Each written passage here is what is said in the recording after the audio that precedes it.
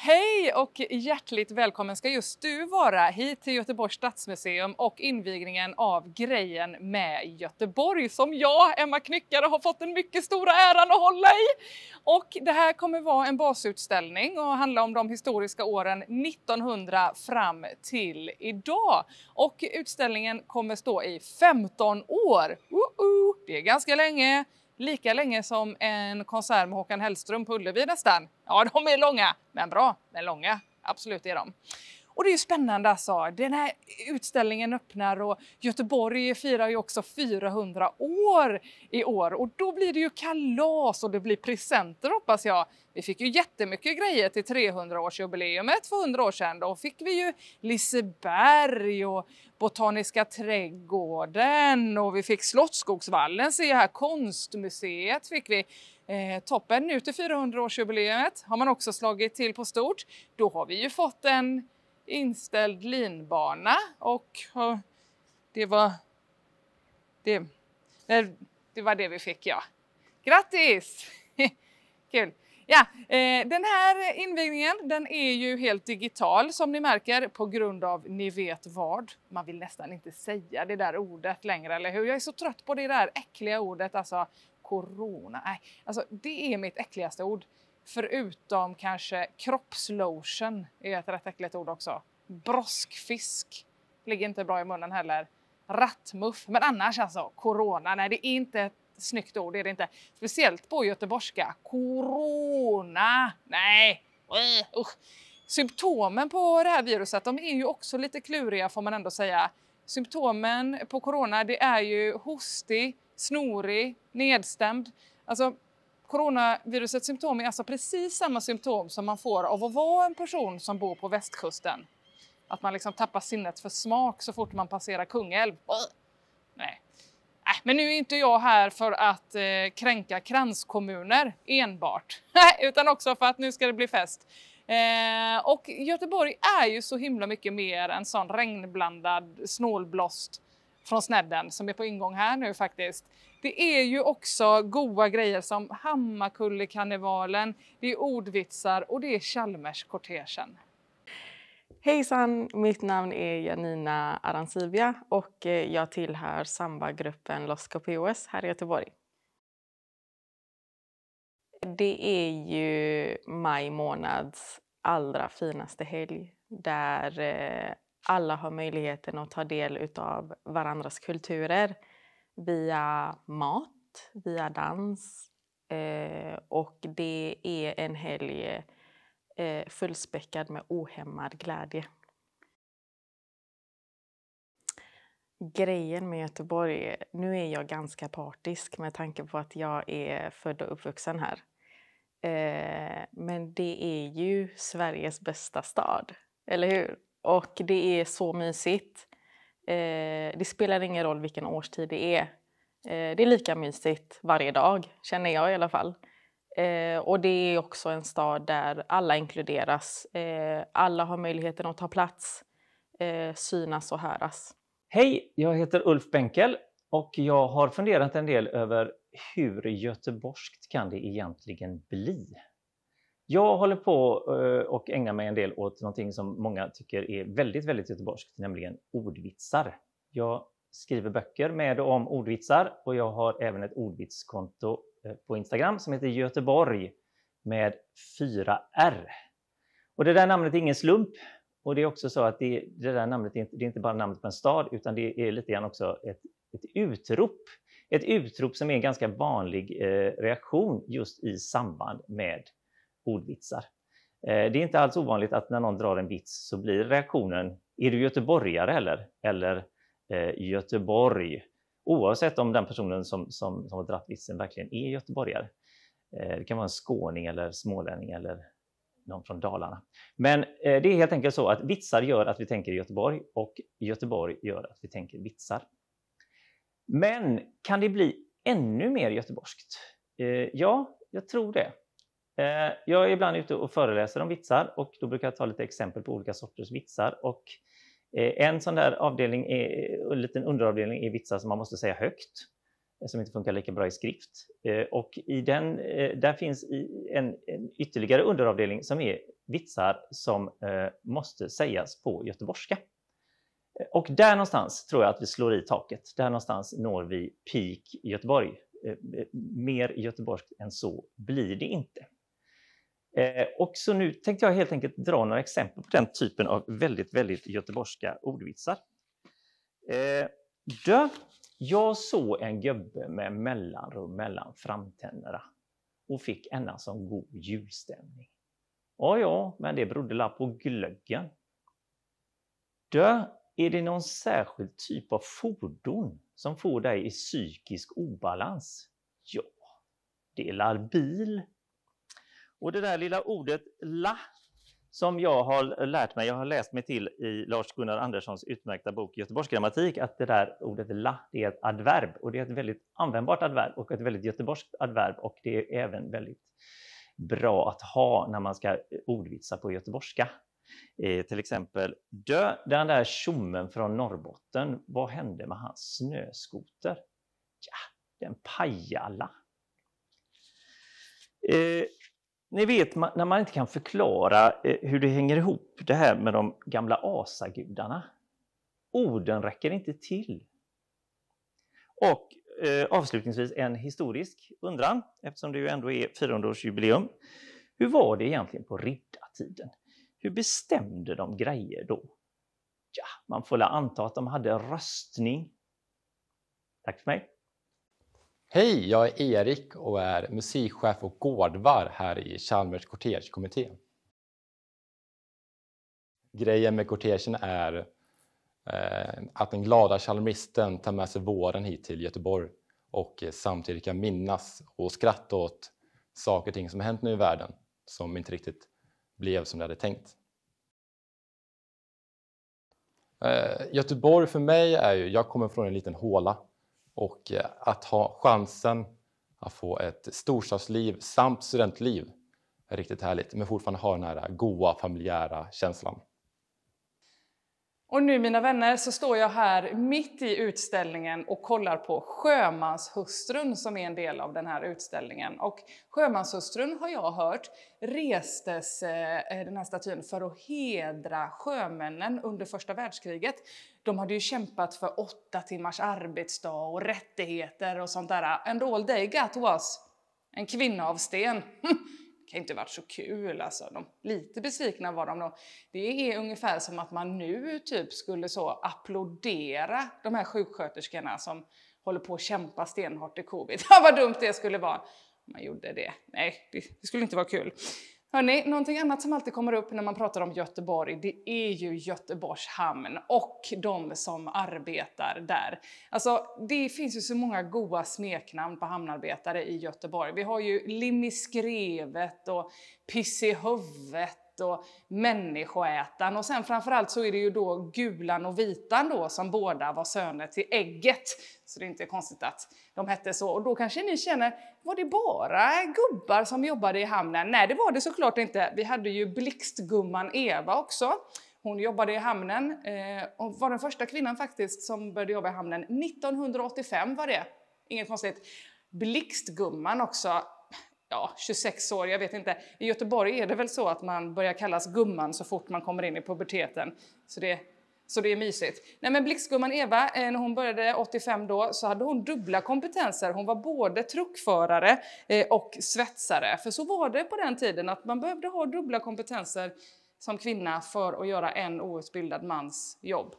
Tur att det inte är så nu, eller Ni kan ringa mig sen efteråt om ni vill boka någon joddlingskurs eller någonting. Det går bra. Mm, toppen.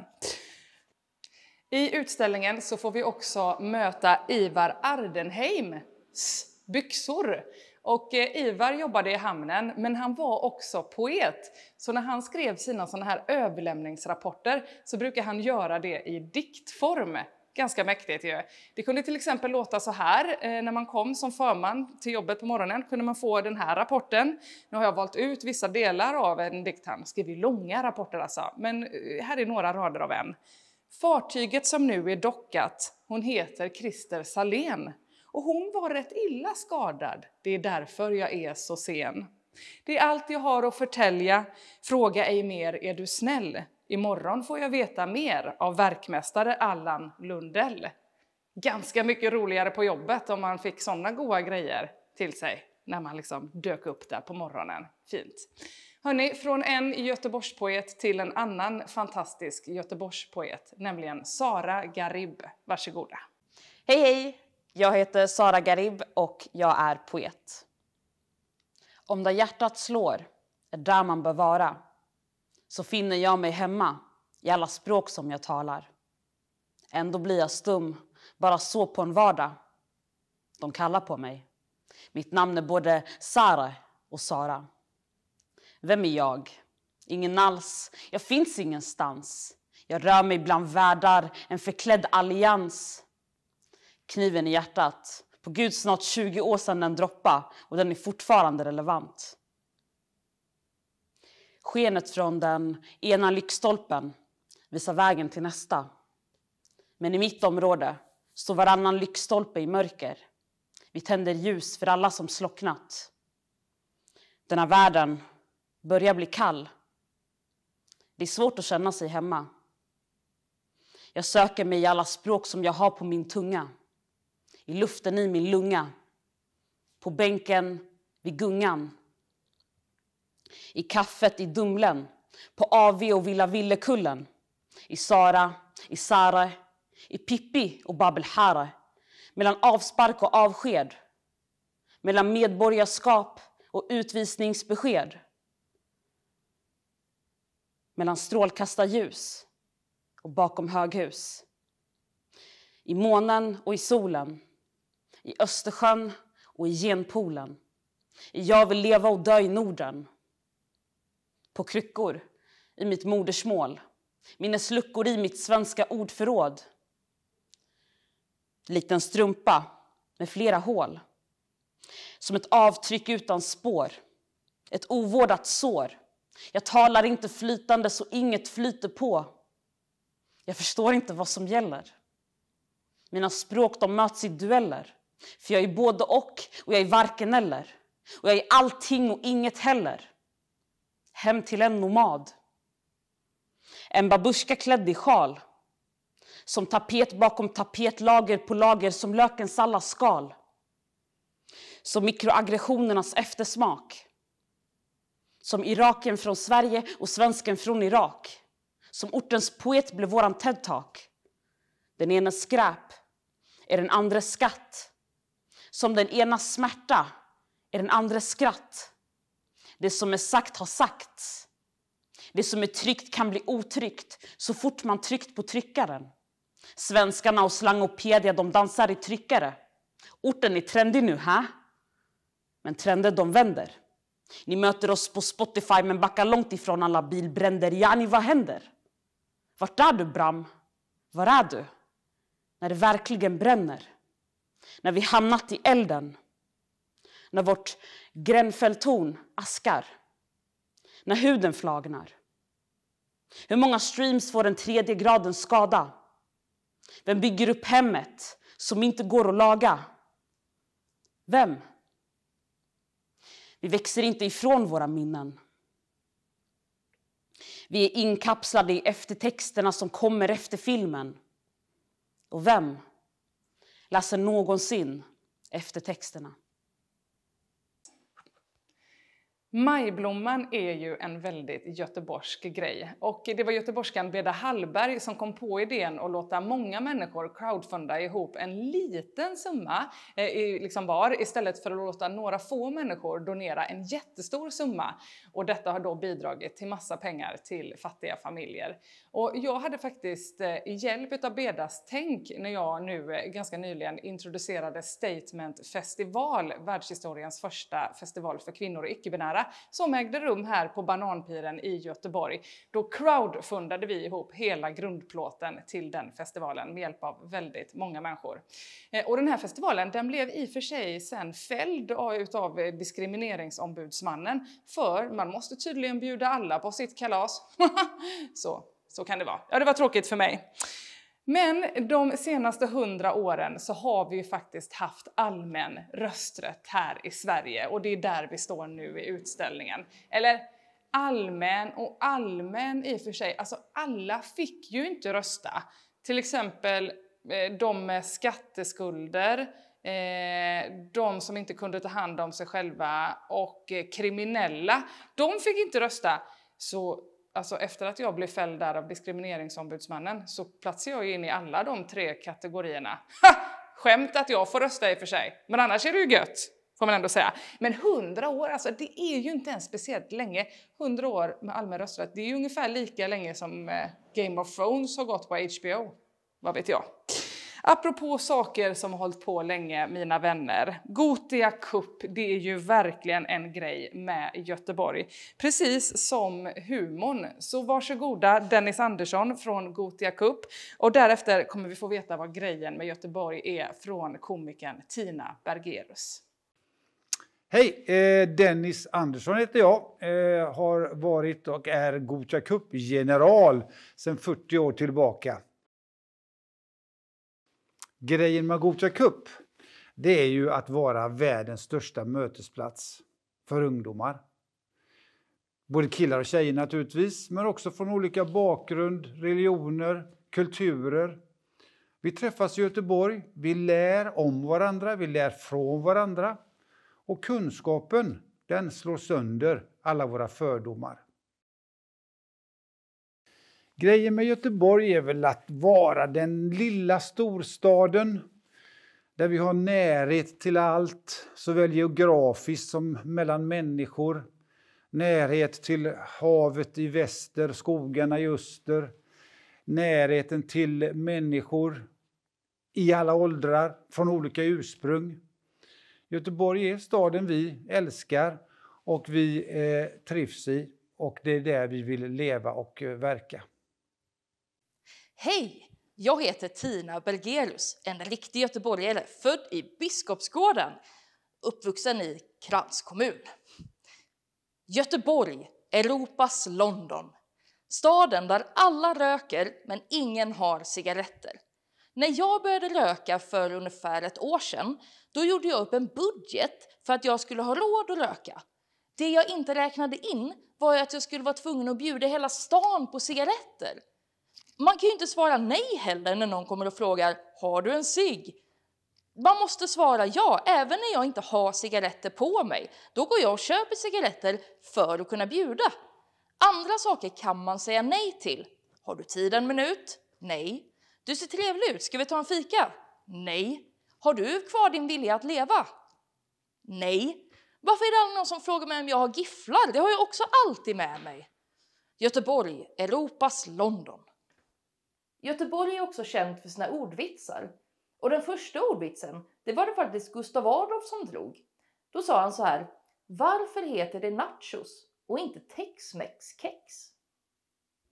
Det var också Gustav Adolf som yttrade de bevingade orden Varför heter det starköl och inte kullager? Och hans gamla klassiker Varför heter det dumpa sin partner och inte släppa en singel? När Gustav Adolf kom till Göteborg, som då inte hette Göteborg, och såg alla de vackra göteborgskorna, som inte var göteborgskor, då sa han Här ska liggas! Och Gustav Adolfs fru vad sa du? Jag sa, här ska staden ligga. Mm, jag tänkte det. Gustav Adolf kallade Göteborg för civilisationens vagga. Och jag håller med. Vi har ju... Eh, det är ju... Ehm, det är i alla fall inte Stockholm. En eh, eh, betydligt yngre sak i utställningen som jag blev väldigt rörd när jag såg att den var med, det är det här kollektivet högst upp som låg i Vasastan och som jag hängde i supermycket eh, ja, för, för, lite mer än tio år sedan. Det är så himla fint att se att det är med och de här böckerna som låg inne på toaletten där folk skrev till varandra, mest olika kränk om städning och sådär. Ah, bitigt. Eh, och I det här kollektivet högst upp så träffade jag eh, en tjej som heter Mia för första gången.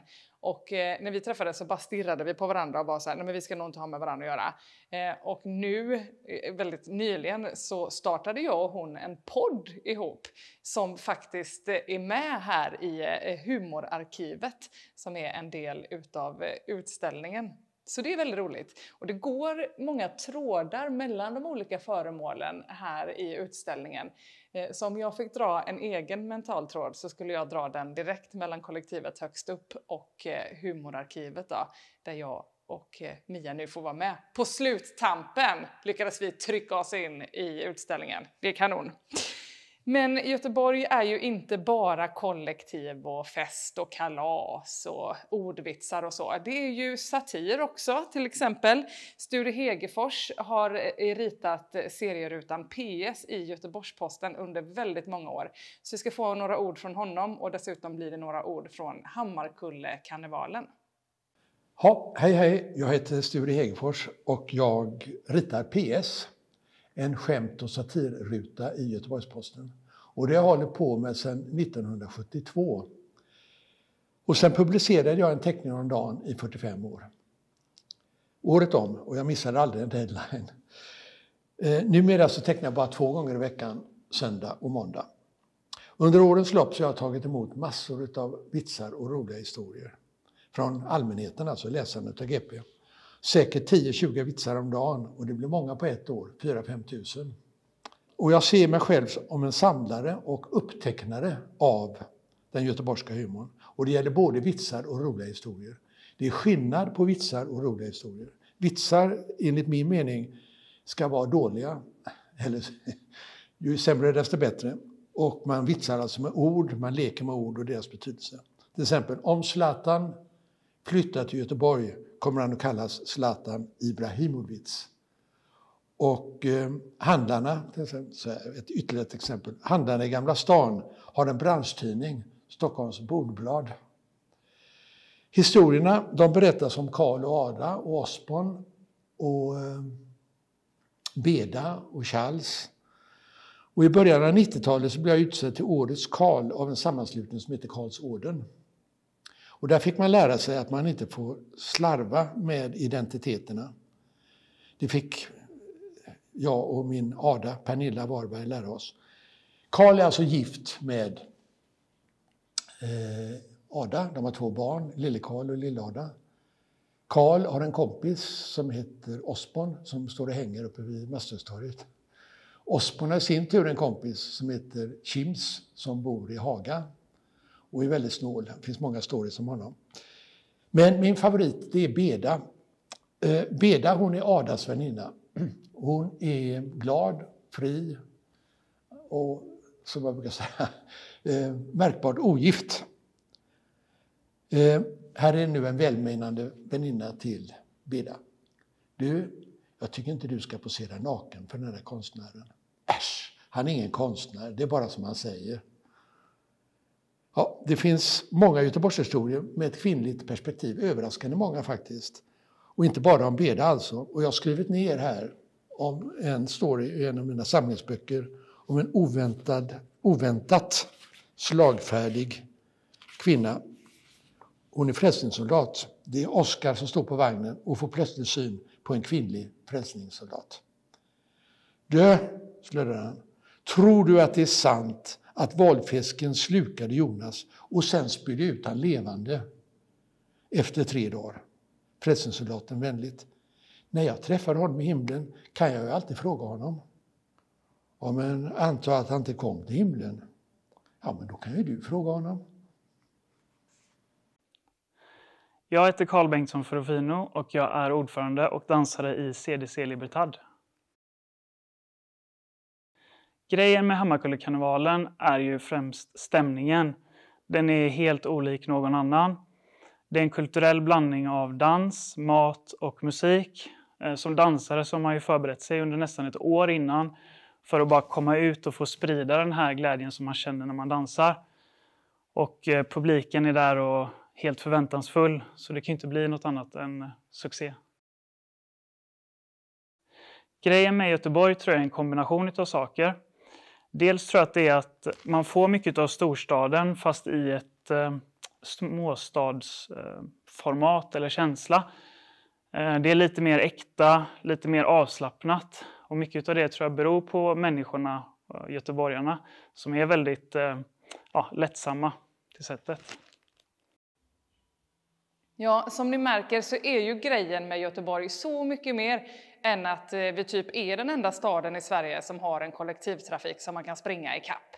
Och ni har säkert egna idéer och känslor inför vad grejen med Göteborg är och ni kommer säkert ha ännu fler efter att ni har varit här och kollat på utställningen, vilket jag hoppas är snart.